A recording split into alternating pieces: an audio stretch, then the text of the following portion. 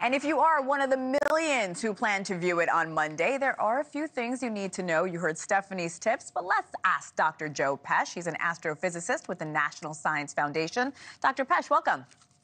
Thank you. Thank you for having me. Good uh, morning. Uh, good morning. So we've been talking about the importance of wearing these glasses. I have a pair of them as well. So do you. Is there yes. anything else you can do to safely view the eclipse? So you can use a, a, pinhole projection, so a small pinhole in a piece of cardboard, for example, oh. not to look through. Absolutely, don't do that, but let the sunlight project through that and, and you know, see what the projection looks like. Uh, if you have leaves on the trees, you can use the leaves as a, as a pinhole camera and look at the little shadows on the ground, and that's quite spectacular. But yes, absolutely, even in totality, do not uh, look at the sun without the sunglasses, the, the solar glasses. I do love the part of looking at the leaves. That's something I never thought of before. We know this particular eclipse will give scientists a chance to study a mysterious part of the sun. I hear there's a lot of excitement in the science world. Tell us more about that. Why is this so important for the scientific community? So the outer atmosphere, the, the most extended part of the atmosphere of the sun is called the corona, which means crown in Latin, because it looks like a crown. And uh, when, as, as you see it here, it, it, it shows up when the uh, vast portion of the light of the sun is blocked out because it's very faint.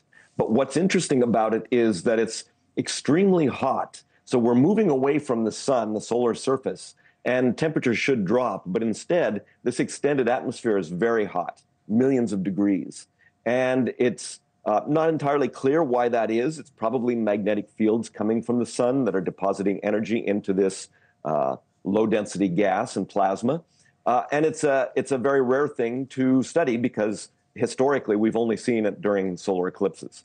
Very exciting. Nowadays, modern astronomers have instruments that can block that out, but sure. it's an important component of the sun. Speaking of modern technology, we know NASA is planning to launch three sounding rockets. How is that information collected going to be used?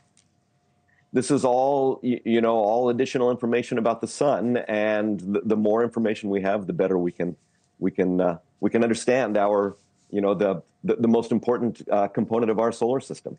There's something else I wanted to ask you about. Many people believe the eclipse could interfere with power grids, possibly GPS systems in multiple states.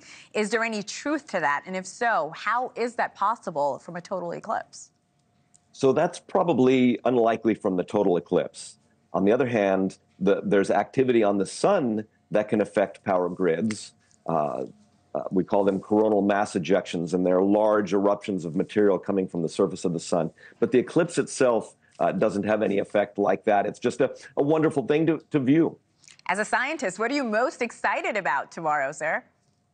Well, I, you know, the eclipse is, is not a completely rare event. It's a rare for any individual, and it's a beautiful event. Uh, for me, the most important thing is the, uh, the enthusiasm of the public, right? This is an accessible, astronomical activity that millions of people can participate in. And I think that's fantastic. And if it encourages someone to uh, go into STEM or to learn more about science and technology, then that's uh, you know that's terrific. I'm with you. A lot of us so excited about tomorrow. Dr. Joe Pesce, thank you so much.